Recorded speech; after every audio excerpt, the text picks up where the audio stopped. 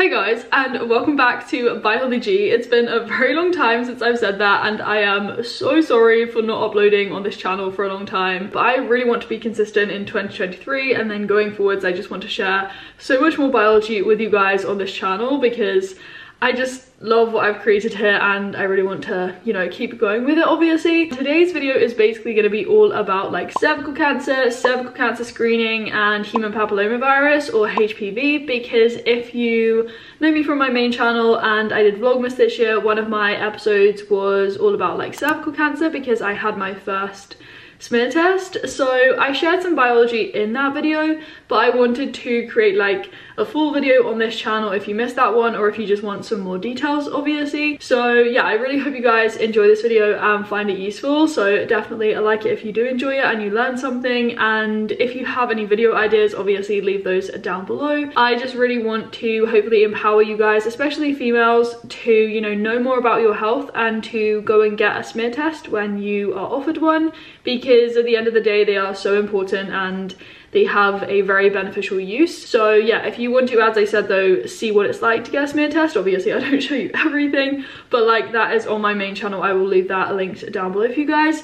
But yeah, without me waffling too much, we're gonna dive straight into this video and basically answer a series of questions to fully understand cervical cancer, HPV, and smear test screening. So question number one is, is cancer caused by infectious agents? Because obviously we are talking about cancer here and basically in short yes cancer can be caused by an infection approximately one in five cancers are basically caused by an infectious agent and that could be like a bacterium for example like helicobacter pylori um, it could be a virus um, Um, a parasite for example we also know that 10 to 15% of cancers are caused by a total of seven viruses and these are what we call tumor viruses. So that obviously includes like human papillomavirus which we're talking about today so HPV but also the first one to be discovered which was Epstein-Barr virus and that causes Burkitt's lymphoma.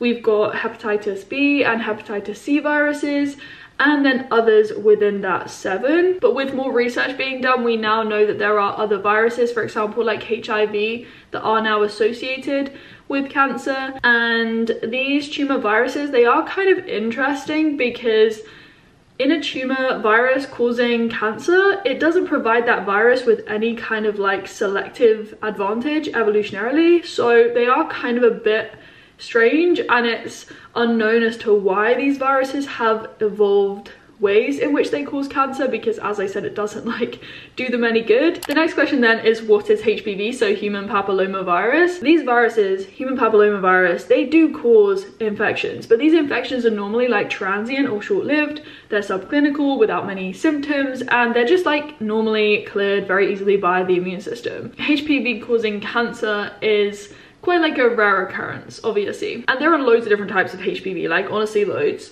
So we classify them into five genera. So genera is the plural for genus and it's the alpha genus that i want to like focus on because we can split the alpha genus into high risk types. We have low risk cutaneous and low risk mucosal. So the thing with hpv is that they infect distinct anatomical sites within the body. And another thing to say about HPV is that it's normally sexually transmitted. So during like vaginal or anal sex, however, it can be transmitted through like skin to skin contact sort of thing. And then with those high risk types, so within the alpha genus, they are known carcinogens. So they are cancer causing agent. That's basically what a carcinogen is. And they are responsible for about 5% of cancers worldwide. High risk HPV infection is the primary or the main risk factor for cervical cancer. And almost every case of cervical cancer is associated with HPV infection. Now we have most commonly studied the high risk types 16 and 18, and these these are responsible collectively for like about 70% of um, cervical cancers in Europe. But it is important to note that high-risk HPV types, they do cause other forms of cancer. So like penile cancers, anogenital and head and neck cancers but obviously the focus in this video again is like HPV infection and cervical cancer in women. So as we're talking about the cervix, I do just want to go over the cervical anatomy because I feel like this is important to know and I can like link down below my menstrual cycle video which also has this information in it but I'm gonna kind of address some different things here as well but essentially the cervix is the lower fibromuscular portion of the uterus. So I'll point out the two openings of the cervix. We have the internal and external OS, but more importantly really we have what's called the ectocervix and the endocervix. So the ectocervix basically projects into the vagina and that is composed of stratified squamous epithelium. So it's multi-layered, but then the endocervix by contrast is composed of a single layer of cells and those are columnar cells cells.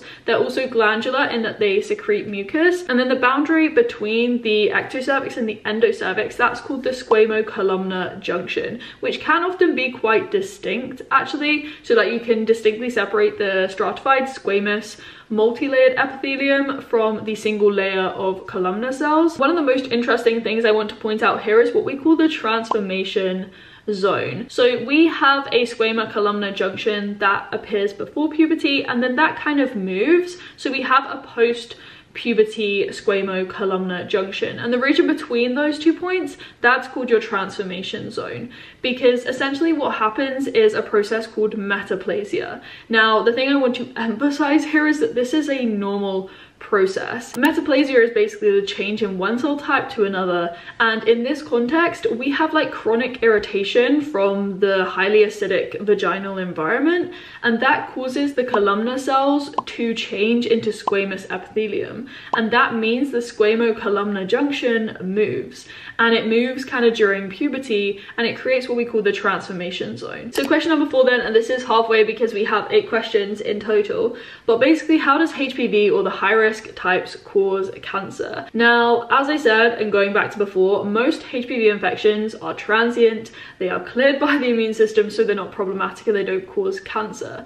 But when they do cause cancer, obviously things go wrong. And this basically happens when the viral infection is persistent. So the immune system cannot clear the virus. And as a result, they start to like overexpress these viral oncoproteins, so proteins that can cause cancer.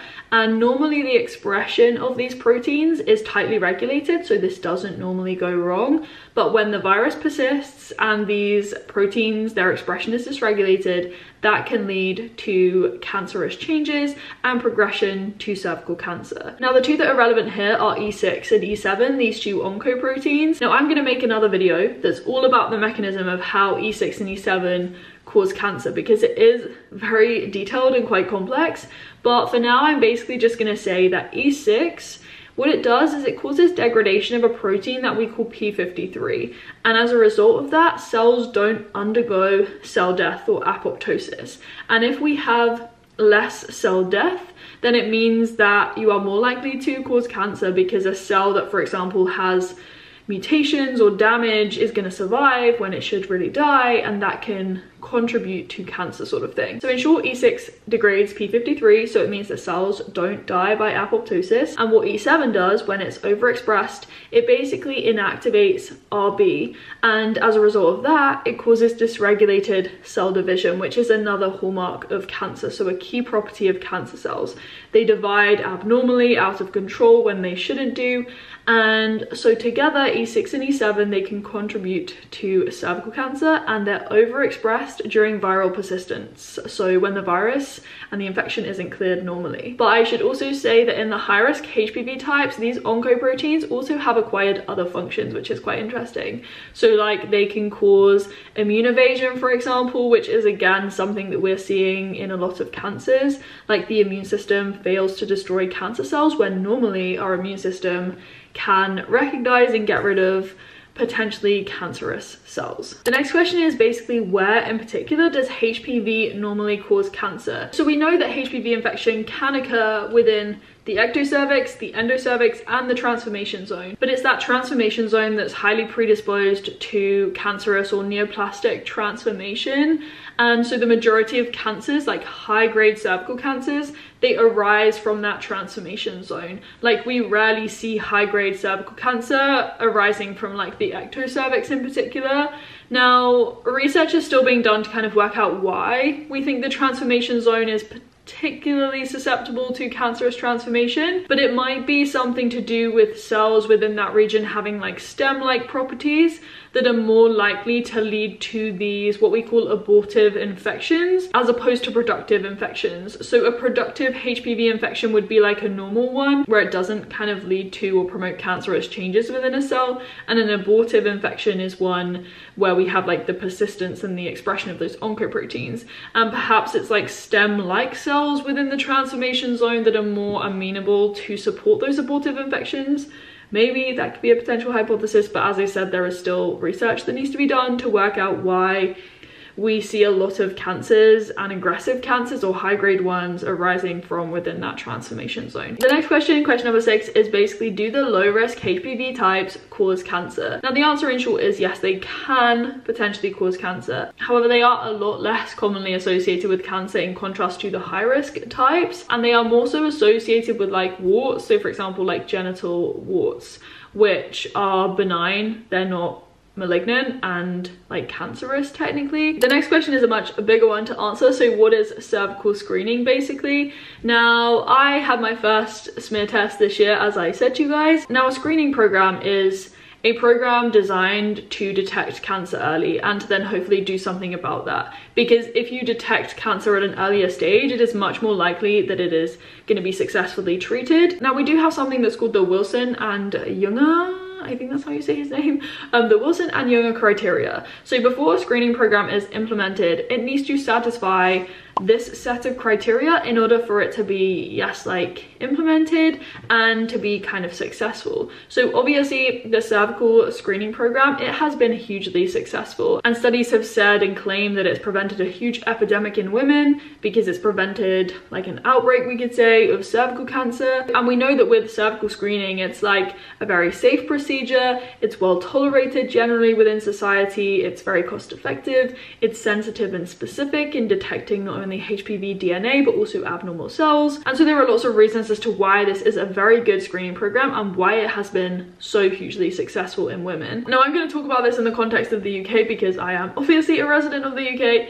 but basically it's called the pap smear test and pap is just derived from the name of the scientist who discovered it now this is conducted in women every like three years starting from the age of like 25 and it basically looks for two things so the first thing it looks for is hpv dna or basically HPV infection. And it does so using something that's called in situ hybridization. So it's looking for the HPV DNA and that's the technique that we use. And then following that, if you are HPV negative, so you don't have the infection, nothing else will be done. Because as I said before, pretty much every case of cervical cancer is associated with HPV infection. So if you're not infected, it doesn't make sense to look for cancerous cells. If you are positive for HPV, then they will go on to look for what's called cervical intraepithelial neoplasia. It's basically looking for abnormal cells and the general term for abnormal cells in like histopathology is what we call dysplasia and a dysplastic cell is an abnormal cell. And with cervical cancer, we have these distinct stages of CIN. So we have CIN 1, 2, and 3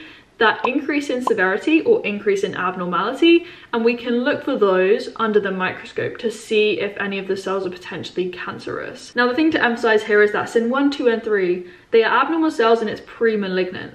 Once you pass CIN 3 which is the most severe that's when you get like invasive carcinoma. So full-blown cancer the cells start to become invasive and they start to potentially migrate around the body in metastasis the process of cancer cells spreading. And how we like separate CIN1, 2 and 3 it's based on the thickness of the layer of cells that are abnormal sort of thing. And from CIN1, 2 and 3 we have an increasing thickness of cells that are dysplastic or abnormal.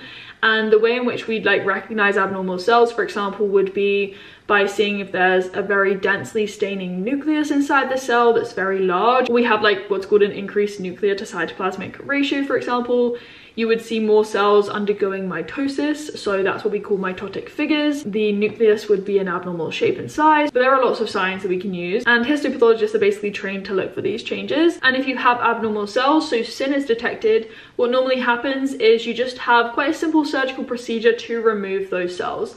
And by clearing the infection and getting rid of those cells, you dramatically reduce the incidence and mortality associated with cervical cancer. Hence why the screening program is so effective because it's very, very good at detecting not only infection with HPV, but also these abnormal or dysplastic cells. The final question then relates to the HPV vaccination program. So what is this all about? So in the UK, again, we have a vaccination program. It's a prophylactic or a preventative vaccination program. So its aim is to prevent HPV infection and it's offered to girls aged between 12 and 13 so i remember having this vaccination in school actually and this one vaccine that's called gardasil it's a tetravalent vaccine. It's not actually the one that i had but gardasil is a tetravalent vaccine because it prevents against four types of hpv so obviously types 16 and 18 which are the high risk alpha types but it also prevents um, HPV type 6 and 11 as well. So these are low risk types but the reason why they combine 4 in 1 is to protect against cancer like the high risk types and you can also reduce the incidence of genital warts at the same time which is also good. Now as I said this vaccine is offered to girls and there are obviously controversies and debates regarding whether this vaccination should be given to males as well because obviously HPV is sexually transmitted but obviously at the moment and in the UK it isn't and it's just offered to girls aged between 12 and 13 but it is a prophylactic as I said preventative vaccination. So together the vaccination program and the cervical screening program together they are very effective in preventing HPV infection or like detecting it early, diagnosing abnormal cells early and doing something about it to significantly reduce the incidence of cervical cancer in women. So that's basically today's video all about, you know, like the infectious agent, the cancer and how we kind of like go about preventing it. Obviously, as I said at the start, if you have any questions or further video ideas, feel free to leave those down below. And if you want to stay tuned for more biology, you can definitely subscribe and hit the bell so you know when I upload. But that is it basically from me and I will speak to you guys very soon with more biology from Biology. Bye!